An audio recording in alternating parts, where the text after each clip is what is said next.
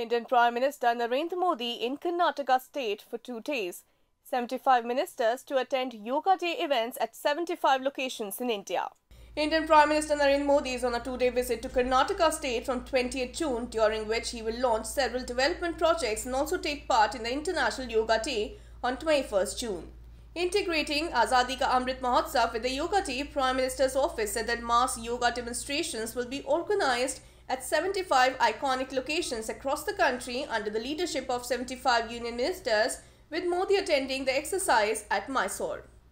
Their yoga demonstrations will also be held by various educational, social, political, cultural, religious, corporate and other civil society organizations and will be attended by crores of people across the country, it said.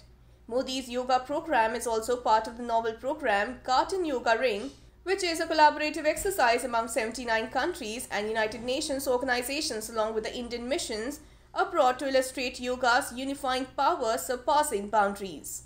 As the sun moves from the east to west across the world, the mass yoga demonstrations in the participating countries, if seen from any one point on the earth, will seem to be happening one after the other almost in tandem, thus underlining the concept of one sun, one earth.